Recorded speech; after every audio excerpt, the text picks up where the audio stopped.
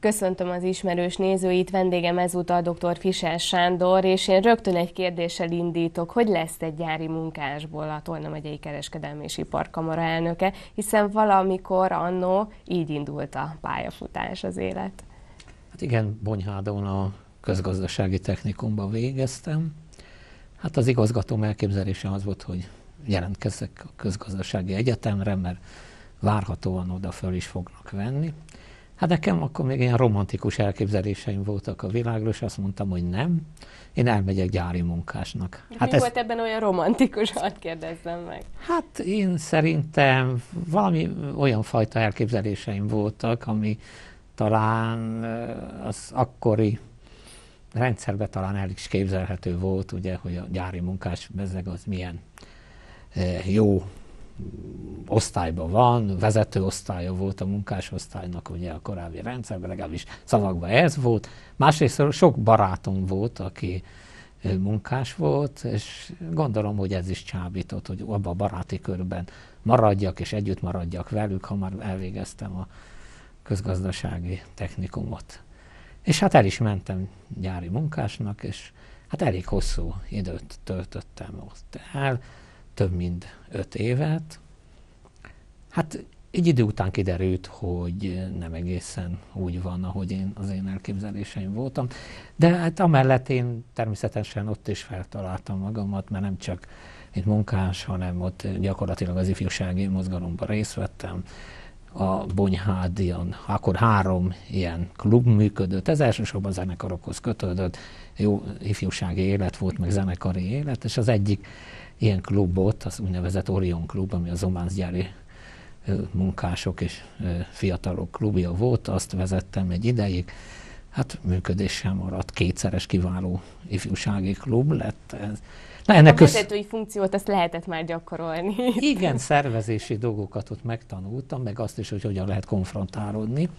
Hát nagyon sikerült is, végül is az akkori zománzgyári igazgatóval sikerült konfrontálódnom, pontosan a klub érdekeit védve, és addig ugyan egy műszakos munkás voltam, aki mellette tudtam tanulni és megképezni magamat, hát, és úgy nézett ki, hogy egyre nehezebb a helyzetem, hát akkor döntöttem azt arról, hogy hát én továbbiakban tanulni szeretnék, de már komolyabban, tehát komolyabb szinten, és a jogi egyetemre jelentkeztem. Nem a közgázra. Nem. Most is az vezetett, hogy nem az, amit számomra mondanak, hogy az a kötelező, tehát inkább Még egy véletlenül se kijelölt úton haladjon. Igen, mindig is hajlamos voltam, hogy más utakat próbáljak ki, és hát elsőre sikerült a felvételi. Akkor nagy szó volt, mert ugye akkor nem úgy most, hogy kb. az 50 át fölveszik a diákoknak, 5 volt a maximum, és ki volt adva, hogy körülbelül 3% végezhet.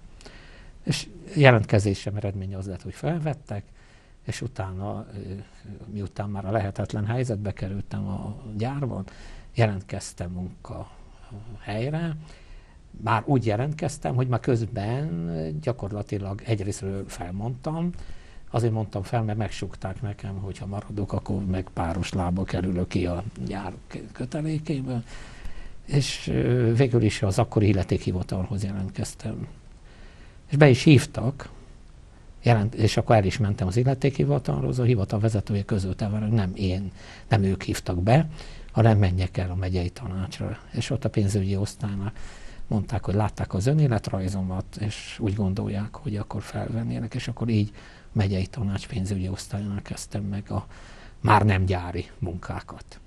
És aztán ez a pénzügyi vonal a mai napig tart az ön életében, hiszen ugye a kisolsz, és sorolhatnánk, hogy még mennyi területen állta meg a helyét, illetve állja meg a helyét a mai napig, nem beszélve ugye a Kereskedelmi és Iparkamara megyei kamarának az élén is ott van, jelen van, és a megye gazdasági életét próbálja egyengedni, irányítani. Ez mennyire fontos ez a vonal, vagy ez annyira adott volt, hogy, hogy a gazdasági területen próbálja ki magát? Hát ez megint egyrésztről egy sok véletlen hatásra, szerencse, meg hát meg egy talán egy az én habitusomból is származik. Hát amikor a megyei tanácsnál dolgoztam, a pénzügyi osztálynál, gyakorlatilag egy idő után úgy érzem, hogy az, mm, talán úgy gondolták, hogy ilyen első számú vezetőnek is jó vagyok, és egy szép napon hivattak, és közölték velem, hogy én pályáztam. Hát én a pályázatról nem tudtam semmit, és természetesen azt is mondták, hogy ez egy többkörös pályázat, sok jelentkezőve volt, és hát én nyertem. És akkor közölték, hogy ez a, azt jelenti, hogy a Kishoz megyei vezetője leszek. Nem sok fogalmam volt róla, hogy egyáltalán ez, mi ez a Kishoz. Gyakorlatilag akkor létezett a KIOSZ, ami az iparosoknak a szövetsége volt, arról tudtam egy pár szót, de a kereskedők szövetségéről nem sokat tudtam. Végül is azért fogadtam el, mert egyrészt volt egy kihívás, amit úgy éreztem talán ennek eleget tudok tenni, másrészt a családom az kereskedőkből állt, apám is kereskedő volt, tehát az egész családban több kereskedő volt, tehát úgy éreztem, hogy talán ezt is megismerem, ezt a területet, és elfogadtam.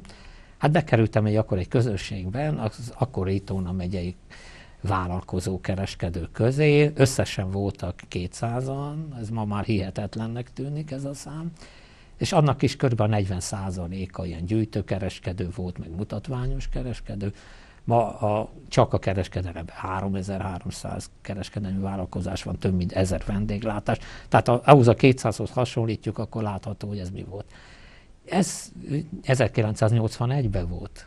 És nagyon szerencsés időpont volt ez a 81-es, mert utána a kormány feloldotta a, azt a tilalmat, ami a jelentkezésre a kereskedelemre volt, és azt mondták, hogy nem csak a rokkantak, a hadidrokkantak, meg az egyéb sérültek kaphatnak kereskedelmi engedélyt, hanem aki jelentkezik, és bizonyos feltételeknek megfelel. És megindult egy nagy fejlődés a magánkereskedelem területén, és a rendszerváltásra több mint ezer kereskedelmi vállalkozó volt már. Tehát ebben a munkában részt tudtam venni, és tényleg orientálni, hogy a Tóna megyében azért a magánkereskedelem, vendéglátás megerősödjön.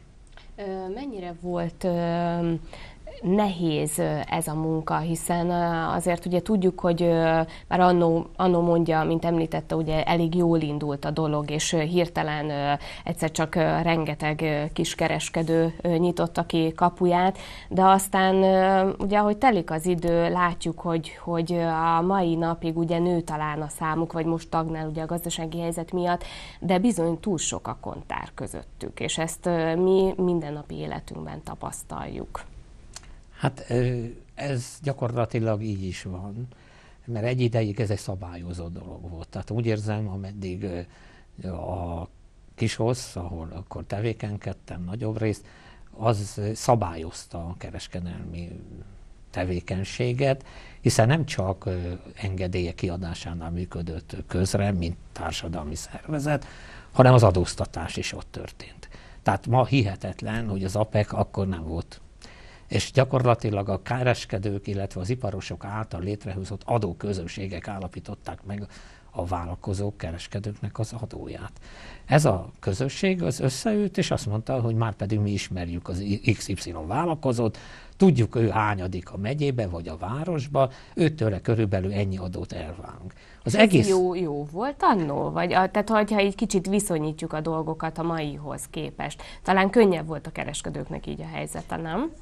Hát először is könnyebb volt a kereskedők helyzete, másrészt volt egy három eh, félbehajtott lapon egy adóbevallás, tehát ennyiből állt a, az adóbevallás annak idején, és valójában hiába írt be ő valamilyen számot, amit mostanában elfogadnak, ugye, mert végül is a jó le van könyvelve, azt elfogadják. Maguk a vállalkozók megmondták, hogy hát nézd barátom, behívták te adtál egy adóbevallást, mi úgy gondoljuk, hogy ez nem felel meg a valóságnak, és akkor becsléssel ezt meg lehetett növelni, és általában ezt el is fogadták. Sőt, a vállalkozók erre is építettek, sokszor ugye, hát mindenki használta a kiskaput, és hogy kevesebbet vallott be. Tudta, hogy az adóközösségben ott dolgozó munkatársak, illetve maguk azok a kereskedők, akiket behívtak és ténylegesen a munkát végezték, azok úgyis meg fogják emelni az adót.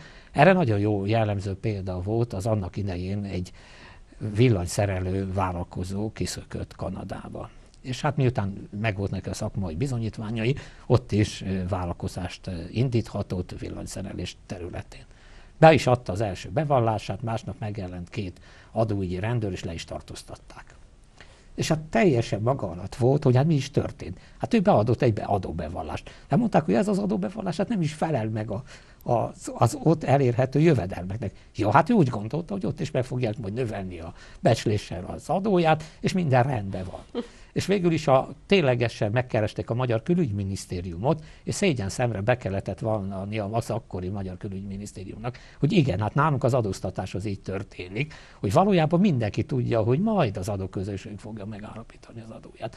Én úgy érzem, hogy abban az időben viszont, ha úgy visszatekintve, ha mai személy jövedelemadó rendszert nézzük, sokkal magasabb jövedelmeket vallottak be ettől függetlenül a vállalkozók, mint jelenleg. De hát hiszen hát akkor ma... megtehették, hiszen ismerték a, a vállalkozásokat, nem volt annyi vállalkozás, jobban felügyelni lehetett, ezáltal igazságosabb is volt ugye talán az a rendszer. Hát abból a szempontból, hogy ismerték egymást a vállalkozók, és ők egymás között választották ki azokat a megbízható embereket, akik megállapították, és a minimál bér bevallás, ami most történik, akkor ez nem volt. Tehát hiszen ma a vállalkozók egy, egy jelentős ányada minimál bért val be. Ez pedig akkor nem volt ilyen. Hogy lett a Tolna megyei és kereskedelmi iparkamara vezetője, hogy egy kicsit gyorsítsunk a beszélgetésen, mert sajnos az időnk telik, és hát ezt a területet mindenképp érinteni kell. Itt is ugye a gazdasági élet irányítása, szervezése az ön feladatait Tolna megyében. Hát miután az érdekképviseleteknek a tagságát gyakorlatilag átirányították a kamarákba azzal, hogy a érdekképviseletben a tagság kötelező, kötelező tagság megszűnt, helyette létrejöttek a kamarák szintén kötelező tagsággal, akkor a többi érdekképviseleti szervezet is gyakorlatilag orientálódott a kamarába, így aztán én szintén a kamarahoz kerültem munka szempontjából. Mint két kamaránál is egyidejűleg dolgoztam, a kézműves kamarában titkár voltam, és a kereskedelmi iparkamaránál pedig alelnök.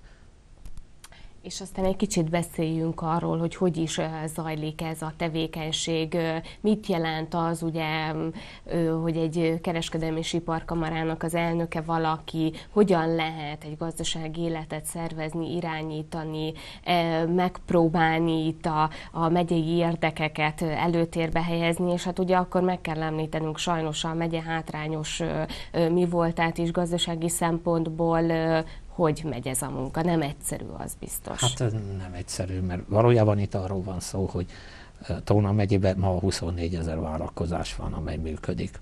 Tehát ebből az ipar, kereskedelem, szolgáltatás, kézműves területén, és hát az mellett van még ugye egy agrárterület is.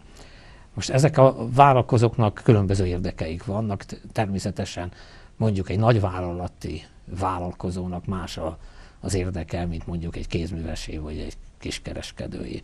De egy biztos, hogy mindenkinek azonos az érdeke abban, hogy lehetőleg olyan szabályozók legyenek, amely a gazdaságot előmozdítják.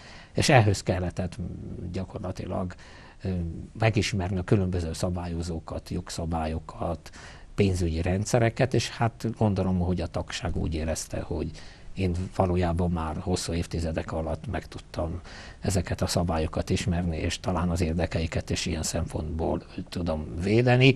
Hát erre az ember, az azt jelenti, hogy egyszer megtanulta, akkor nem kell újból és újból, és hát meg kell újulni is újból és újból, tehát újabb dolgokat kell kitalálni, illetve újabb lehetőségeket kell biztosítani a vállalkozóknak.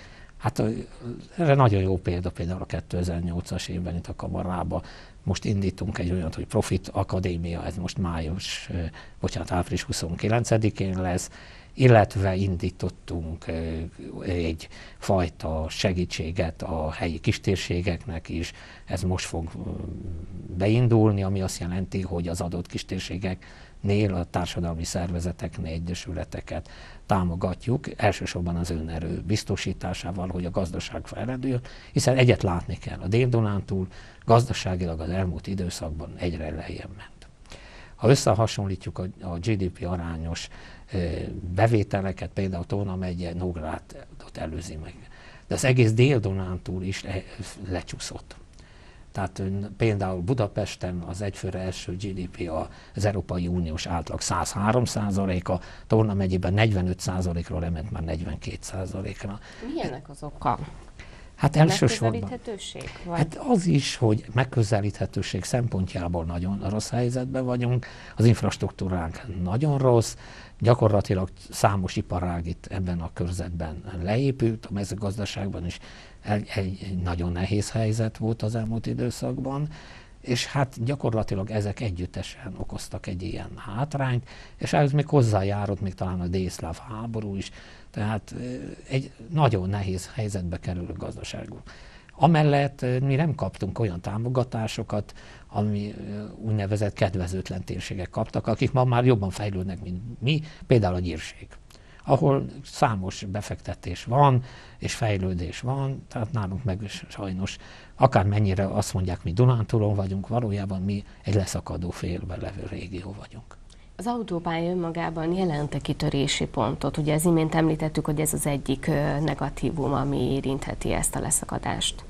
Az autópálya önmagában nem jelenti. Erre nagyon jó példa Somogy megye, ahol a hetes autópálya már évek óta létezik, gyakorlatilag nem építettek gazdaságfejlesztési programot, nem dolgoztak ki a környező települések egy iparfejlesztést, tehát nem jelentett. Tehát ahhoz, hogy mi ezt, ne, ezt a hibát ne kövessük el, elsősorban gazdaságfejlesztési programot kell kidolgozni az egész autópálya mentén, másrészt meg kell határozni azokat az ágazatokat, amelyek kitörési pontokat jelentenek. Ma már tudjuk az, hogy itt Tóna megyében elsősorban a turizmus jelenthet, az idegenforgalom és a feldolgozó ipar. Nem lehet elvárni ettől a megyétől, hogy ez egy ipari megye legyen. Tehát nem is lesz. Tehát elsősorban azokat az ágazatokra kell építenünk, amit tudunk. Itt gondolok a borturizmusra, a mezőgazdaságra, és az egyéb idegenforgalmi lehetőségekre, és még most is jól fejlődik a megyébe ez a feldolgozóipar, tehát erősíteni kell a feldolgóipart. És gyakorlatilag valamennyi szervezetnek, aki ebben az érdekelt, közösen kell annak érdekében tenni, hogy a gazdaság fejlődjön. Ugye azt gondolom, hogy eznek a műsornak most nem ez a tisztje, hogy ezeket a kérdéseket végérvényesen átbeszélje, illetve most itt kimondjuk a megoldási lehetőségeket, evezzünk egy kicsit könnyedebb vizekre, visszatérve az ön életútjára. Ugye a kereskedelmi és iparkamara vezetői tisztje, posztja mellett több tisztet is ellát itt Tolna megyében, de az országban. E, emellett vállalkozó is hogy jut mindenre idő és energia? Hát köszönöm elsősorban, hogy van erre energiám, hogy nagyon jó munkatársaim vannak mindenhol, és ők segítenek ebben a munkában. Én szerintem a csapat munkanélkül nem megy, és sose szerettem azt a vezetőt, aki mindent egyedül akar megoldani, sőt a munkához sem engedi a munkatársait. Én mindig azt vallottam, hogy ha van egy új munka, az ember azt dolgozza fel magába, próbálja áttekinteni, és akkor vonja be a munkatársait, és együtt próbálják utána megoldani. Sőt, utána a munkatársak sokkal többet tudjanak arról a területről, mint ő.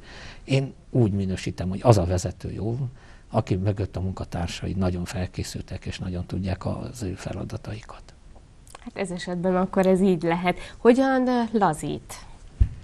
Hát gyakorlatilag tudok lazítani, mert először is ott van a család, amivel az embernek foglalkoznia kell, tehát ez is egy lazítás. Szeretek nagyon olvasni, sokat olvasok hétvégén is, olvastam egyfolytában, hol szakmai dolgokat, hol pedig irodalmat is, mert én azt megengedem magamnak, hogy irodalmat olvassak. Sok vezető nem engedi meg magának, de én úgy érzem, hogy azt kell. Anélkül ez nem működik, hogy az ember egyfajta kulturális érdeklődésen legyen. Hát így legyen, maradjon meg ez a kulturális érdeklődés és a szakmai iránti alázat. Nagyon szépen köszönöm, hogy itt volt. Kedves nézőink, önöknek pedig a figyelmet tartsanak velem legközelebb is minden jót.